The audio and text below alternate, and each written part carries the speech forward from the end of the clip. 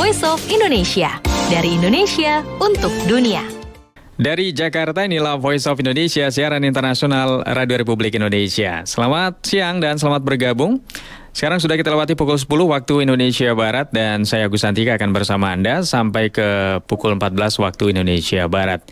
Di Indonesia hari ini edisi siang, saya akan hadirkan nanti serangkaian informasi baik dari Indonesia untuk dunia. Yang sudah bergabung di Shortwave 3325 kHz dan 4750 kHz, selamat bergabung. Terima kasih untuk Anda yang eh, di seluruh dunia yang mendengarkan dan juga bisa menonton tayangan kami bersiaran melalui aplikasi RRI Blego ya di Android atau iOS Anda dan juga melalui online streaming kami ya di voinews.id. Jadi Anda selain bisa mendengarkan audio, bisa juga visualnya bisa Anda saksikan ya. Terus kita akan bersama dengan tentunya menghadirkan serangkaian informasi dan juga lagu-lagu yang akan menemani aktivitas Anda. Juga warta berita akan kami hadirkan setiap jamnya yang dihimpun tim redaksi Voice of Indonesia.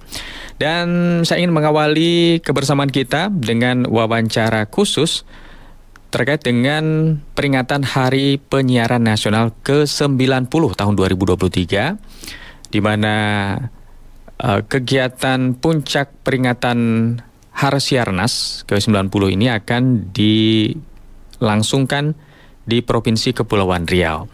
Nah, untuk membahas hal tersebut kita sudah tersambung via Zoom dengan Kepala Dinas Komunikasi dan Informatika atau Kominfo Provinsi Kepulauan Riau Bapak Hasan Esos.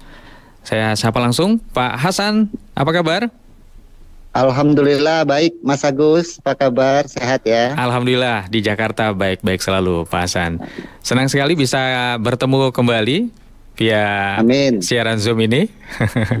Sudah ya. setelah sekian lama ya Pak Hasan ya? Iya. Oke, baik Pak Hasan.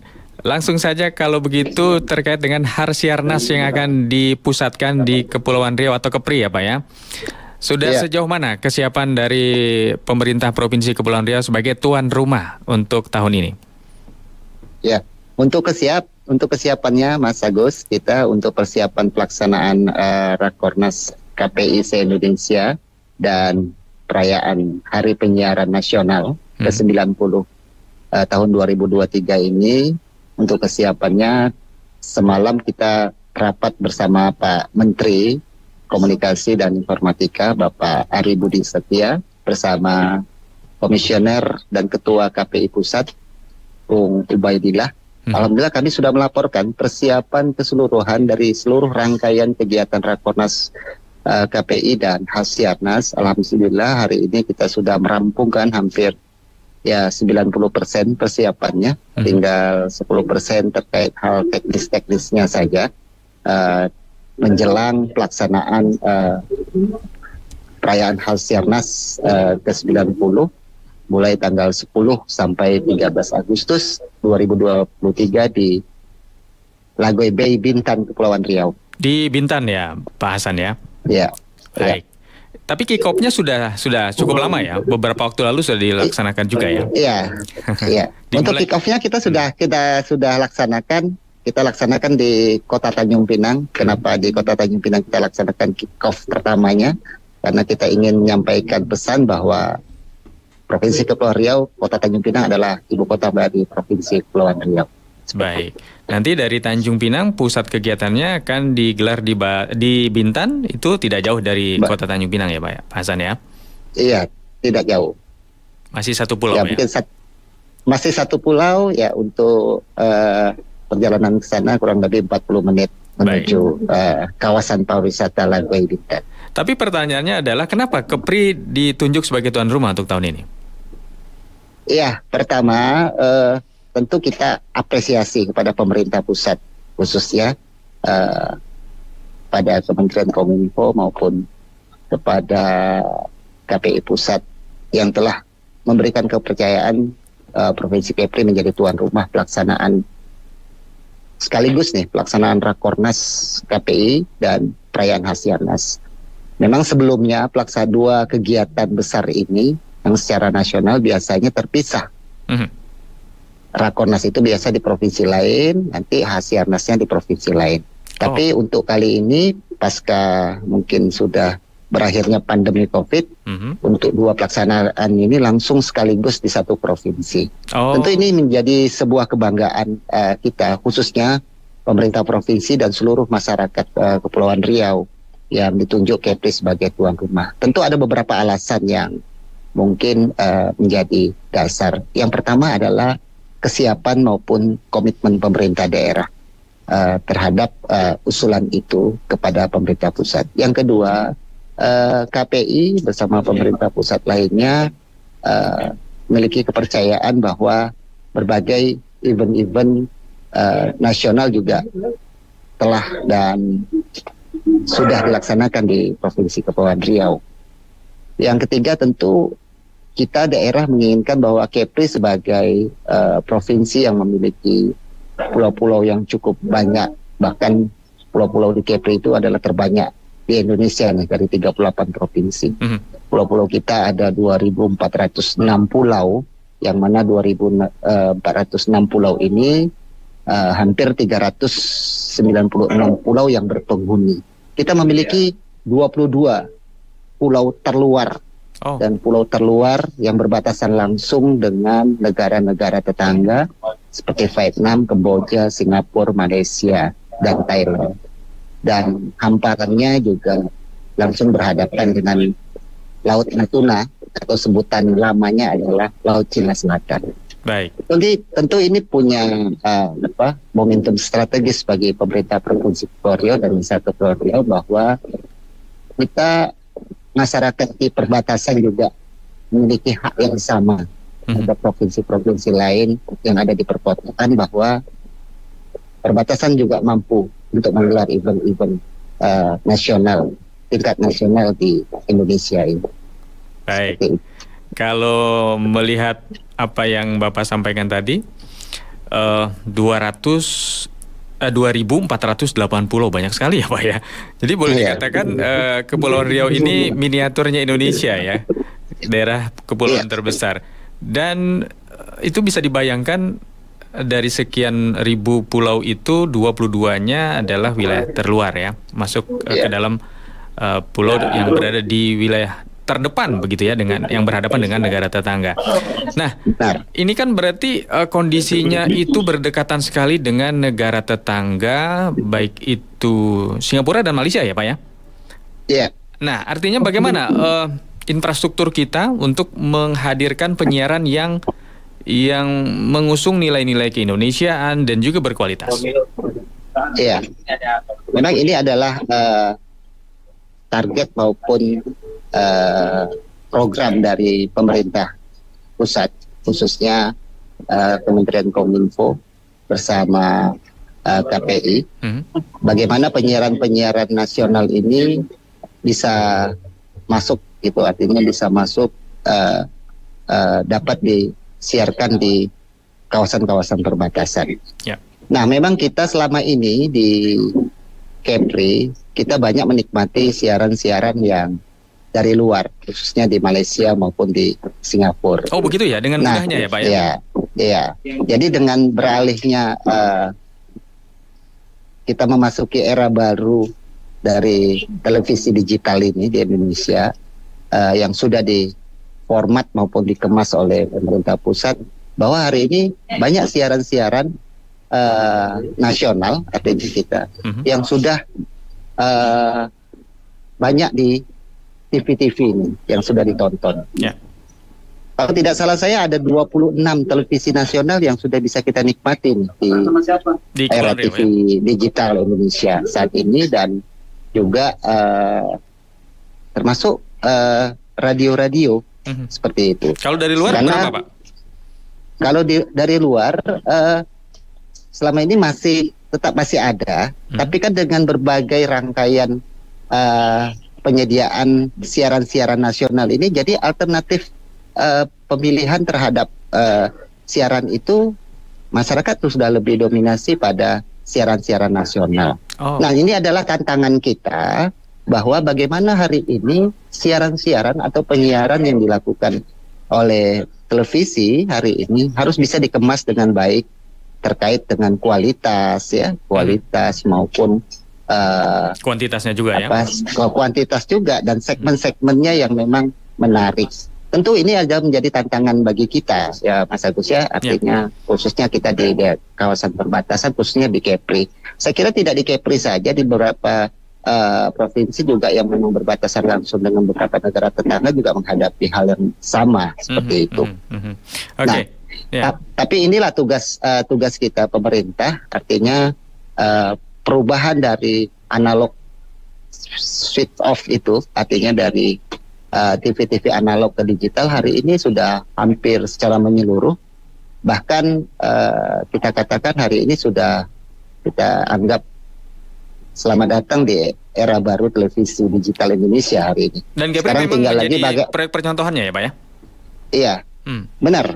Jadi bagaimana lagi mutu terhadap siaran-siaran nasional ini bisa diminati atau ditonton dan dinikmati oleh masyarakat kita di perbatasan. Saya kira kualitas tidak jauh dari uh, siaran-siaran luar, hmm. ya, terutama uh, pemberitaan dan lain-lain.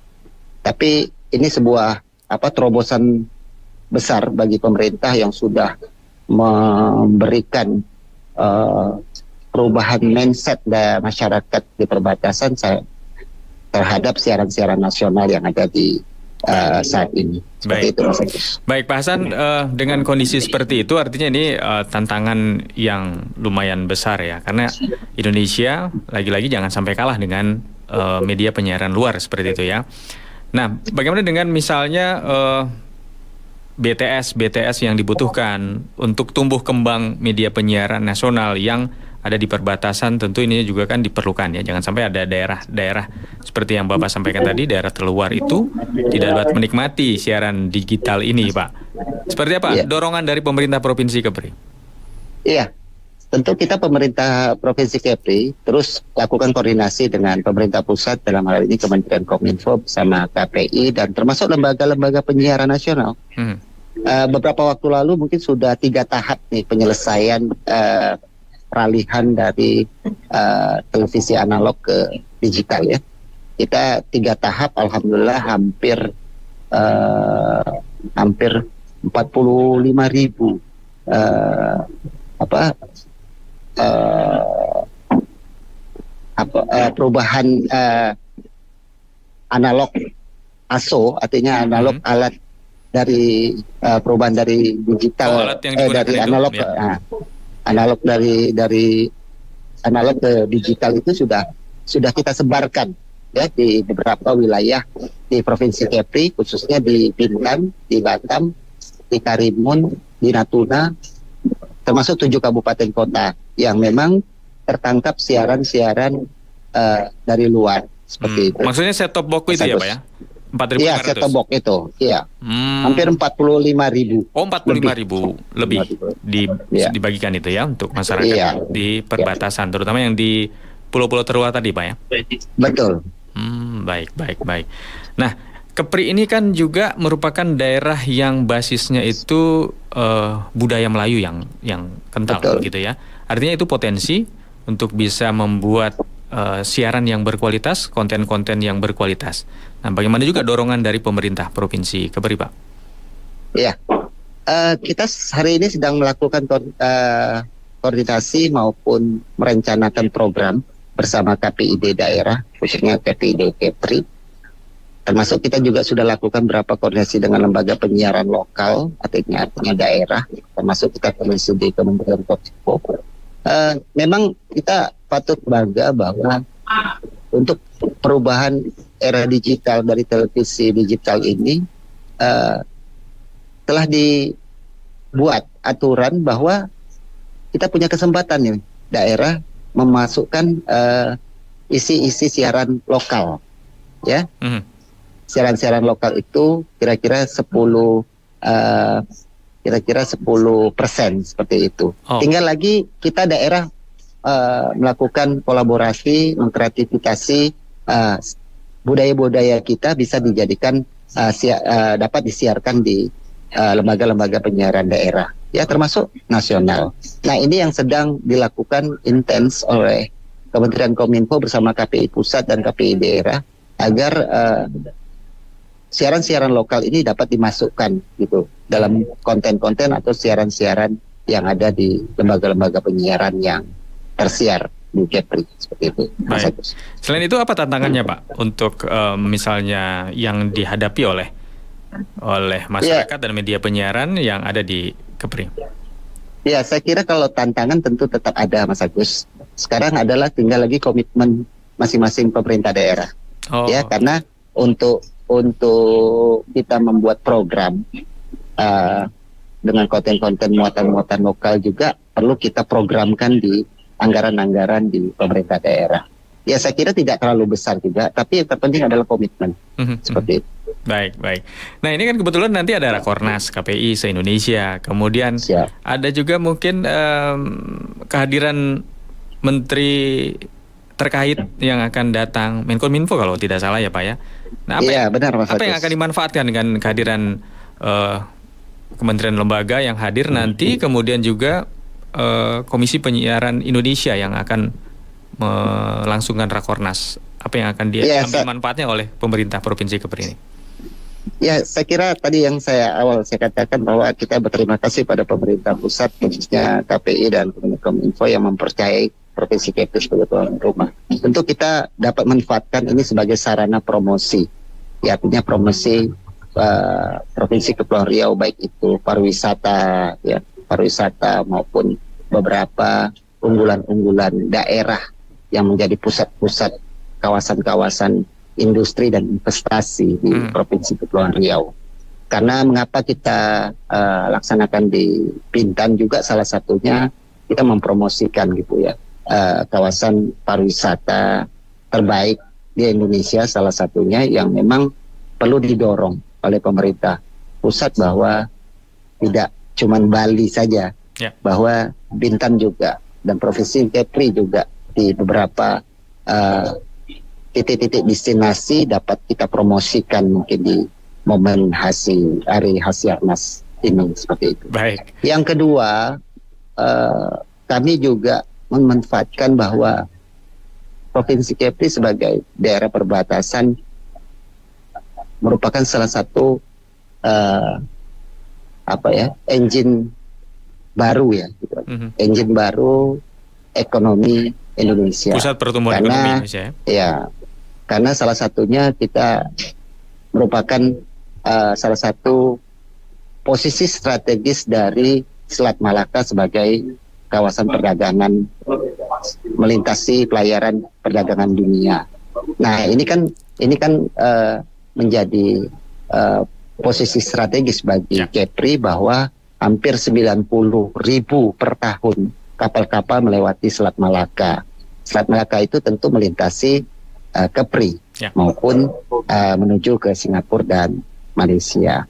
Nah, bahwa kalau ini kita manfaatkan poros-poros maritim ini, bahwa ya ini menjadi lumbung uh, ekonomi Indonesia di di, di Kepri seperti itu Mas Agus. Baik, ditambah lagi dengan penyiaran yang berkualitas, tentu ini juga ya. akan menambah semarak dan juga uh, masyarakat Kepri yang semakin berkualitas juga ya Pak ya. Baik Mas Agus, benar. Satu lagi pertanyaan Pak Hasan. Ya. Uh, mungkin ada bocoran sedikit terkait dengan puncak peringatan Harsiarnas nanti, agendanya apa saja? Ya, ya pertama kami tadi kami sampaikan kami bangga bahwa Kepri ditunjuk sebagai tuan rumah dan bahkan tema besar dari pelaksanaan Hasianas ini adalah dari perbatasan wujudkan siaran yang ramah, bermartabat dan berbudaya. Ini sebuah tema yang luar biasa. Artinya perbatasan menjadi ujung tombak ya, ujung tombak kewibawaan dan kedaulatan negara yang dipandang oleh pemerintah ini harus uh, kita apa kita asah gitu potensi-potensi yang ada di perbatasan. Saya sampaikan bukan di Kepri saja karena perbatasan itu banyak juga di Indonesia. Yeah. Tapi saya kira daerah-daerah provinsi perbatasan juga sedang melihat uh, bagaimana perbatasan ini menjadi uh, basis ekonomi dalam mendukung ekonomi Indonesia. Dan kita bangga banyak infrastruktur yang dibangun oleh pemerintah pusat dan perhatian bahwa salah satunya juga Pak Presiden Jokowi uh, kami bangga bahwa telah menempatkan Kepri menjadikan titik center point dari uh, pos lintas batas negara di salah satunya di uh, Kepri yaitu di Pulau Serasan dan alhamdulillah infrastrukturnya sudah selesai tinggal lagi bagaimana uh, pemanfaatan terhadap pos lintas batas ini menjadi uh, objek uh, ekonomi bagi masyarakat di utara uh, Kepulauan Riau, khususnya di Natuna dan di Anambas seperti itu. Baik, Mas Agus. Ya, semoga semakin ramai yang masuk ke Kepri ya melalui pos iya. lintas batas itu tadi ya. iya benar. Terakhir Pak Hasan, Mungkin ya. ada yang ingin disampaikan untuk pendengar dan juga pemirsa Voice of Indonesia di seluruh Nusantara dan juga di seluruh dunia yang mendengarkan dan menonton siaran kita. Silakan, Pak. Ya, ya di momentum uh, Hasianas ini memang uh, banyak agenda dan kegiatan yang akan kita laksanakan dan kami sudah melaporkan itu kepada Pak Menteri.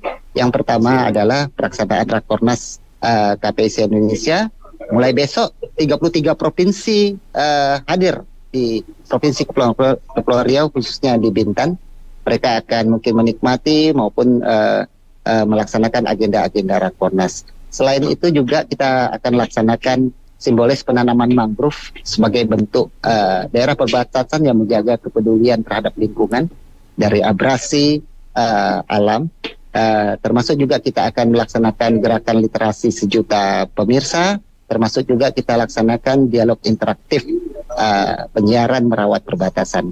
Yang salah satunya adalah narasumber dari kegiatan ini adalah Pak Menteri Kominfo langsung, hmm. Pak Gubernur Provinsi Pulau Riau, Pak Yangsar Ahmad, dan juga uh, Ketua KPI Pusat, serta kita tambah satu lagi uh, dari Wakil Ketua Komisi uh, 1 DPR RI. Ya, oh. Ya cukup meriah dan kita juga laksanakan juga di momen uh, Hasianas ini kita ada menampilkan Internasional UMKM Expo. Artinya uh, menjajah produk-produk uh, UMKM yang sudah dikurasi bisa menjadi oleh-oleh bagi tamu-tamu uh, yang hadir di provinsi Kepri. Dan kita juga uh, bersama Kementerian melaksanakan uh, workshop uh, terkait digitalisasi untuk uh, untuk lembaga-lembaga penyiaran uh, nasional dan daerah yang dilaksanakan di Grand Lagoy. Banyak acara dan dihibur oleh artis-artis ibu kota. Alhamdulillah, uh, mudah-mudahan ini masyarakat Kepri terhibur uh, dan menjadi momentum penting semangat masyarakat Kepri untuk membangun Kepri ke depan lebih baik seperti itu. Baik, Pak Hasan terima kasih banyak luar biasa. Sama-sama. Mudah-mudahan sukses kegiatan Harsiarnas ke-90 di Kepulauan Riau dan menjadi ya. momentum kebangkitan media penyiaran yang lebih sehat dan bermanfaat untuk masyarakat seluruh Indonesia dan juga dunia ya Pak ya. Iya, terima kasih Mas Agus sudah uh, bersama kami. Ya. Baik, terima kasih Pak Hasan dan uh, pendengar Voice of Indonesia demikian perbincangan saya dengan Pak Hasan Esos ya selaku Kepala Dinas Komunikasi dan Informatika Provinsi Kepulauan Riau seputar kegiatan puncak peringatan Har Siarnas atau Hari Penyiaran Nasional ke-90 tahun 2023. Tetap bersama kami di Voice of Indonesia dari Indonesia untuk dunia. Voice of Indonesia dari Indonesia untuk dunia.